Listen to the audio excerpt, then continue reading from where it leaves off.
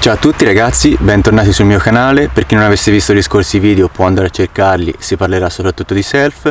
Ho inserito anche qualche piccolo video realizzato durante le mie pescate estive, anche se purtroppo quest'anno eh, il tempo è sempre poco, c'è stato il lockdown, ci sono state varie chiusure e, e purtroppo la pesca è andata un attimo a, diciamo a scendere, il tempo è sempre meno però diciamo per fortuna riesco a ritagliarmi queste piccole sessioni giornaliere o di poche ore soprattutto in fiume ma purtroppo il fiume attualmente è completamente in piena e quindi mi sono rifugiato in questo piccolo laghetto vicino casa.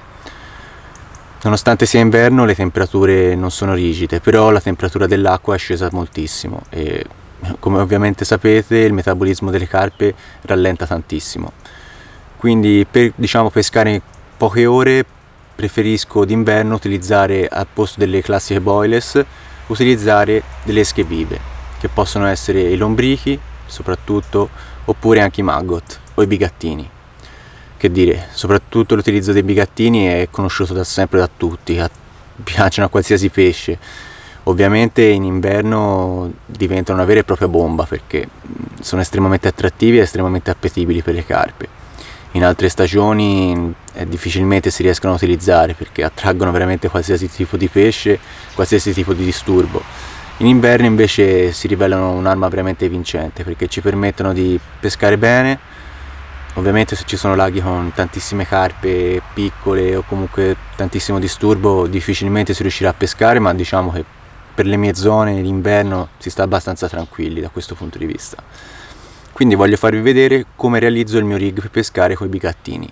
Non utilizzerò la classica maggot ma vi farò vedere come realizzare un rig veramente eccezionale. Spero anche interessante.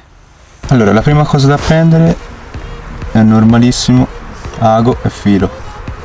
Filo da cucire di qualsiasi tipologia, se riuscite anche un bite floss va benissimo uguale, che sarà fondamentale per creare la nostra collana di bigattini.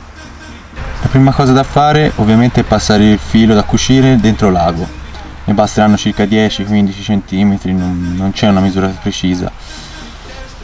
Saranno più che sufficienti diciamo, per poter legare bene i bigattini.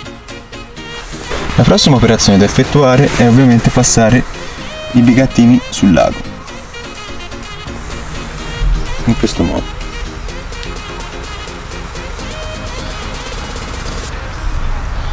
Facendo attenzione a non farli scoppiare. Ne passiamo circa una decina che sono più che sufficienti. Eccoci qua. Questo è l'effetto che dovreste avere.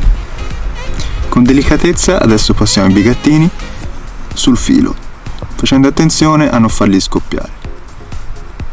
Ovviamente cerchiamo di sfilare uno dei capi del filo in modo da essere più semplice da legare sull'amo.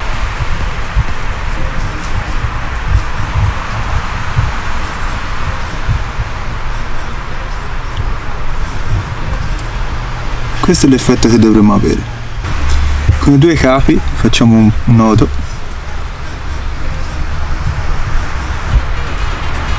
Senza serrare troppo.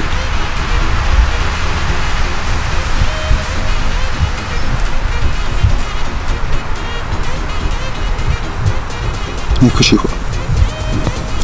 Il prossimo passo è andare a inserire una piccola spugnetta al di sotto del bigattino in modo da dargli un effetto diciamo pop up o bilanciato in base a quanta spugna metterete ovviamente.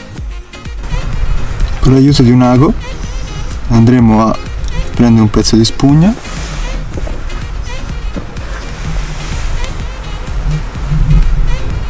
e a passarci il nostro filo.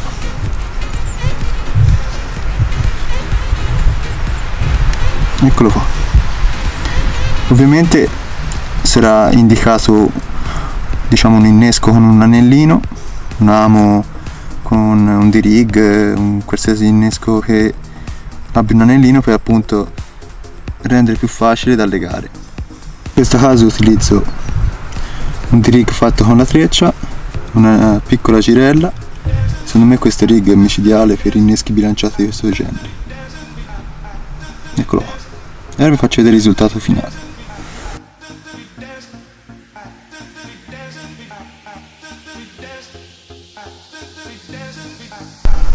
Questo è l'effetto che avrete.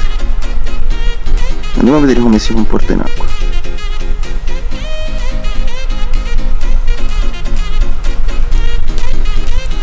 Come vedete i bigattini rimangono estremamente attivi super attrattivi e rimarranno così per un sacco di tempo.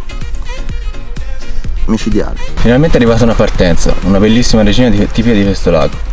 Bellissimo guardate che colori. Andiamo a rilasciarla